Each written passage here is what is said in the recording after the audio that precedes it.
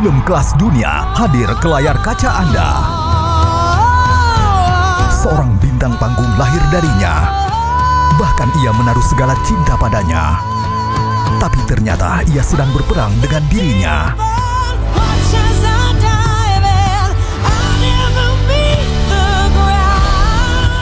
A Star is Born, Kamis 24 Februari jam 10 malam di bioskop Trans TV.